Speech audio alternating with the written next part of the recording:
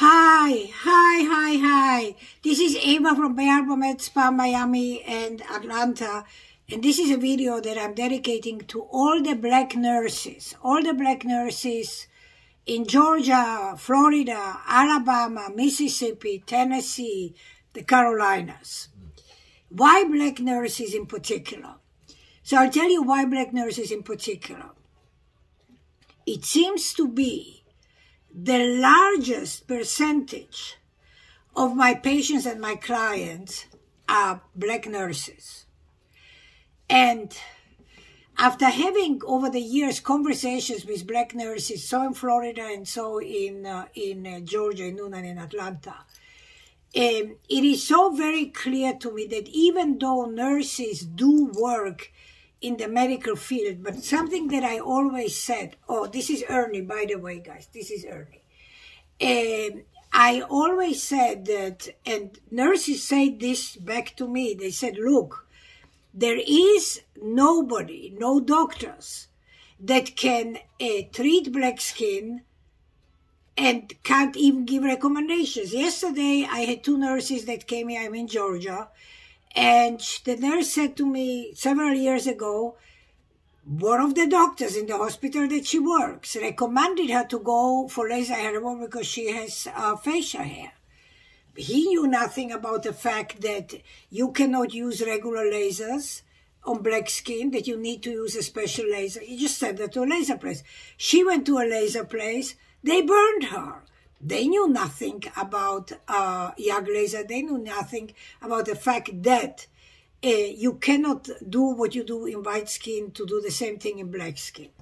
So I, I sort of thought that I want to address this and I want to share this with all the nurses all over. Majority of uh, black nurses suffer, particularly in the South, suffer from unwanted facial hair.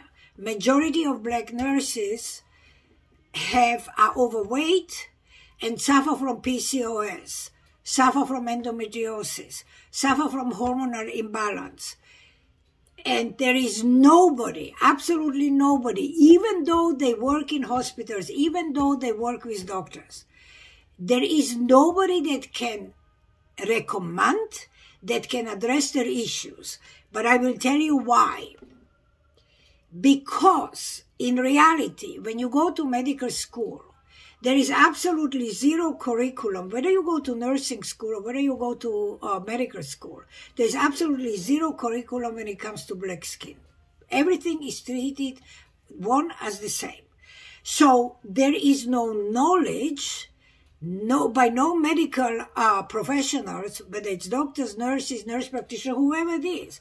There is no knowledge about black skin and what black skin uh, what black skin uh, requires and black nurses are overworked over absolutely overworked are stressed out have many many uh, uh long hours eat very badly have no directions of where to go, what to do, what blood work to take, what hormonal test to take, how to take care of themselves.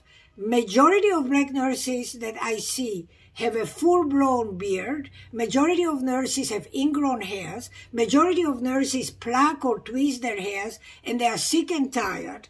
And I can tell you that I have people who are flying to Atlanta to come to see me because they realized after years of suffering and then years of watching me on YouTube that I am the number one black skin expert in the United States. That I really know what I am saying. And ladies and gentlemen, I do this over 40 years. Before I came to the United States, I treated African black skin, so not brown skin, but black skin, because African Ethiopian skin is black, it's not brown. American black skin is brown. So I really treated very, very dark skin. I have tremendous amount of expertise and experience. But I want to share something else with you to give you a comparison. Can anybody tell me how many semesters at medical school, do doctors get trained on vitamins and minerals? Zero. Zero. Zero. The same way, the same way they don't they then don't train people in black skin, and they don't train people in vitamins and supplements. It's a gap. And so, generally, if you go to a doctor, they do not know really to tell you about vitamins, and they do not know uh, to give you information about black skin. Now, that changes when you go to Europe, because Europe it's the opposite. Alternative and conventional uh, medicine goes hand in hand. In Germany, for instance, a lot of vitamins have to be given by prescription. You can just not walk into a, a health food store and buy vitamins. So, so you, and I come from Europe, you know, my training is very, very different. So I have tremendous respect for a lot of, uh, uh, a, a lot of different ways to approach uh, the well-being of, of, of the human body, the well-being of, of people. I have a different approach because I was uh, trained differently. I learned differently. I have a lot of knowledge and a lot of experience. So I am sharing this with all the black nurses. And I ask kindly of you guys, if you are a black nurse and you see this video, share this with you, uh, with your friends. Talk to other nurses. I know that a lot of nurses, and this generally, women are embarrassed. They come to me and they say, Eva, you know, I have a colleague at work she really is so bad. She suffers so badly. And uh, for years, and her skin is 10 shades darker because she's plucking and she is threading and she's waxing, and it's horrible. So here is what I'm, and I said, so why don't you tell her that you come? And she said, I don't know how to approach her. Well, I'll tell you how you approach your colleague as a human being, as a friend. And you say, listen, I see that you have the same problem that I have, or I see that you have the same problem as my sister has, or as my cousin has, or as my mother has. And I know there is somebody that treats our skin. There is somebody that treats black skin, that understands black skin, that has the knowledge in black skin. Why don't you call her? Why don't you go and watch her videos? Just something, don't push. Just give them the option to find out that there is a solution. That, that that's number one. That's how I would go about it, guys. I many often I go to the supermarket, I go to the post office, I go wherever I go, I get to see women, white women, black women that suffer from endometriosis or PCOS. I can I can tell immediately just by looking at the shape of the body, and they have a full face, full beard of hair. So I approach people as a human being. I said, listen, I want to talk to you on the side for a minute. And I tell them I have a daughter that suffered from this for over 30 years. So I approach them with humanity, which I am. And I share the story. And then I say, by the way, I do this I treat human skin, I treat uh, ormondidea, I treat PCOS, I treat endometriosis, uh, clients and patients that suffer from this condition. And I approach people. I don't do it because I want to become a multimillionaire. I do it because I know the factor. I'm a woman. No woman wants to run around with facial hair and look like a man. I judge by myself. If I have one hair here or two hairs here, I will do everything to take this hair away so I don't see it. So I only have one or two hairs. So can you imagine how it feels for a woman that is full of hair?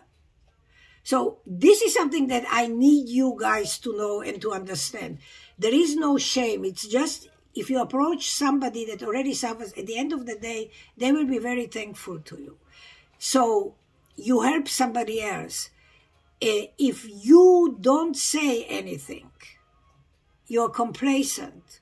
You're hurting that person because you know better, because you know that there is another way, that you know that this woman could change her life. So don't be complacent. Don't uh, push it to the side. Because if you put yourself in the shoes of, of that person, if you were that person, and somebody would approach and say, there is something that can be done that can help you. I am sure of it. Uh, how would you feel? You and then you would follow up. You would feel very happy and very thankful that that person changed your life forever. And when you think like, do you mean never change your life forever? Okay, what woman wants to go to bed or kiss a man or have a boyfriend would allow him to touch her face when she has a beard and when she shaves it and when she has a five o'clock shadow from in the morning shaving at two o'clock. What woman? What woman would want to be embarrassed by a guy that would kiss her, then he would feel her face and would say, What what do you have? What's going on? Uh, what woman would take off makeup to to show to a guy that she has all of uh, discoloration and bumps on her face. Do you know that I have clients that came to me that would go to sleep with makeup just so their boyfriend wouldn't see how they look? And I changed their life and I changed their life for the better. So what I am actually saying to you is it is okay to talk about this and it is okay if you know to share it. Now I want to say something else because you know I speak about a lot of subject just from experience. So I want to tell you something else. Yesterday I encountered a nurse that came to see me from uh, Columbus. And we talk, talked on the phone. She found me on YouTube and we talked on the phone whereas I was in Miami and then we made an appointment. So then she arrived and she shaved all her hair. But she told me on the phone that she has white hairs. And I explained her that for white hairs, I cannot treat with laser. There's no laser in the world that can treat white hairs. You need to do electrolysis. So I said, well, why did you shave? Like you're driving to see me for 45 minutes and you come, I can't touch you. There's no way I can treat your hair because there's no hair. And for electrolysis, contrary to, and I will explain this to, contrary to laser, so for laser hair removal, you cannot have any hair sticking out from your skin. The hair has to be completely removed before you do treatments. So we shave it before you do laser hair removal treatments. Why? Because the laser beam that comes out of the machine is calibrated. And the laser beam has a particular length which is less than half a centimeter long. And that's exactly the length, the depth that the, the laser beam goes under the skin and hits the hair follicle. And if the hair follicle is in the growing stage, it will destroy it. It will destroy the blood vessels that supply the food, oxygen, and hormones. And that hair follicle it cauterizes it in a way, and the hair follicle will die. For electrolysis is exactly the opposite. So laser can treat dark hair or black hair. Laser cannot treat white hair because white is not color. Laser cannot treat blonde hair because that's not a color. Because laser is attracted, YAG laser is attracted to the pigment of the hair, not the hair itself, to the color that is in the hair. So for electrolysis, for white hair, you can do only electrolysis. Now what is electrolysis? Electrolysis is a process where you insert a needle into the hair follicle. Then I press on the foot pedal, I release heat through that needle, and that needle cauterizes the hair if the hair is in the growing stage. Then I take the needle out, and then I take a tweezer and I take the hair out. If you shave, there's nothing to take out. I can't do anything because I can't take the hair out. So you have to leave the hair. But here is now the issue. So the lady explained it to me. She said, You know, I had to shave because I had to go yesterday, on the day before she came to see me, I had to go somewhere in the evening and I couldn't go with new face, with the face of full of white hairs. So I explained her what the process was, what it would entail. And any woman, any nurse that has black and white hair, or white or black hair, just listen carefully to what I'm telling you right now. Here is what needs to happen. I can treat you, unfortunately, you are coming a, a bit late because as soon as you have white hairs, uh, the process is not going to be easy and the process is going to be tedious and complicated and painful, but you have no choice. So here's what happens. If you're a woman that has 60% white hair and 40% black hair, then I would do the following. I would say, okay, we are going to treat the 40% of your hairs with laser, and we are going to treat the 60% of your white hairs with electrolysis. Now, what is a woman to do, a nurse that works, what is she to do if indeed, if indeed she's working, how can she walk around with facial hair? That's very difficult. So I said here, you come to see me once every five weeks. So for four weeks, you can shave all your hair, your white hair and your black hair. And then one week before you come to see me, or five days before you come to see me, you don't touch your face, you don't shave. You leave your black and white hairs intact. You wear a face mask. Remember during COVID, we all wore face masks and for a lot of women we say it was a very comfortable solution.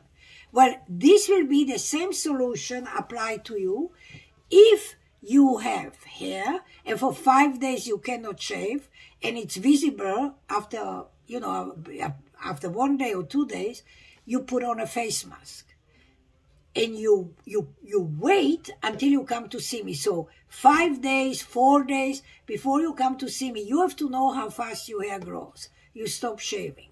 And for, for those four days, you wear a face mask. So nobody at work sees you here. Then you come to see me. Then the process is as following. I first treat the white hairs. I remove all the white hairs that you have with electrolysis, which might take an hour.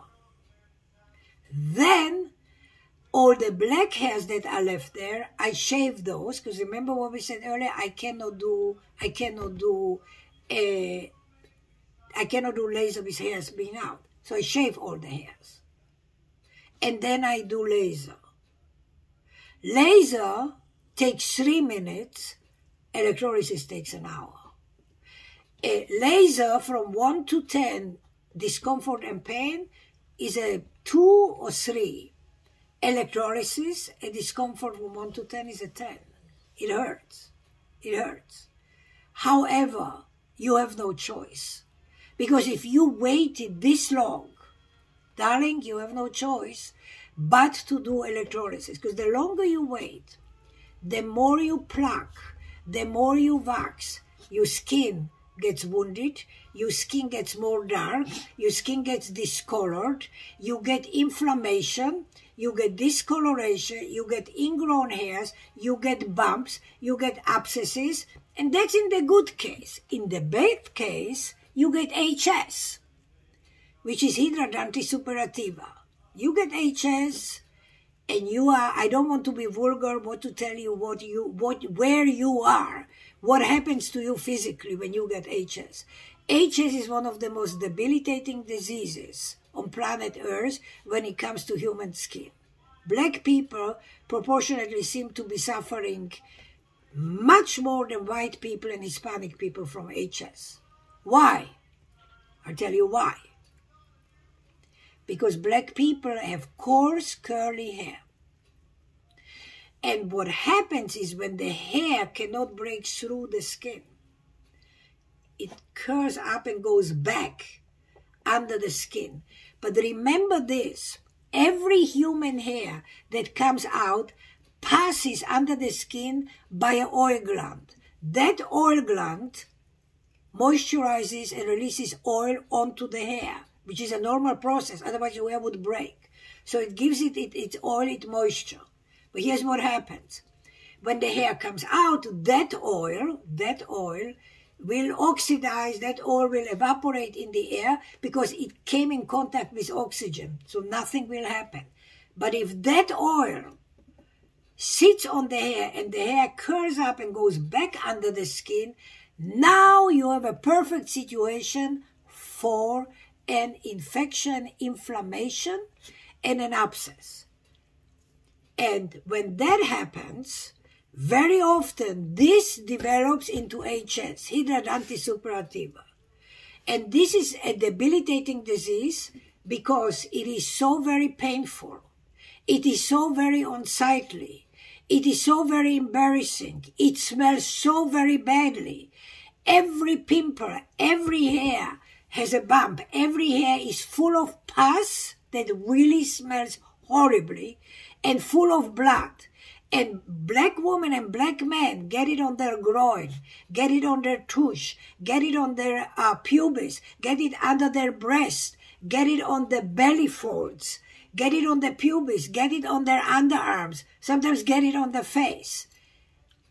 Many places that you have even more fat, you get more HS and folds in the skin.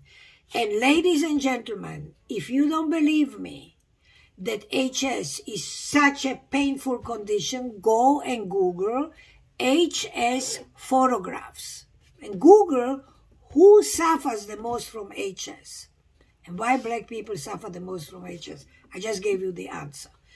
When you suffer from HS, there are several stages.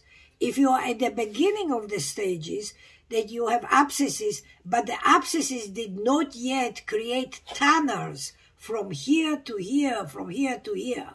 Because these tunnels create like braids underneath and they connect. So you have an ingrown hair, and it's an ingrown hair, and it's sort of like grow. They're like tunnels that are growing across from one point to the other one, under the skin.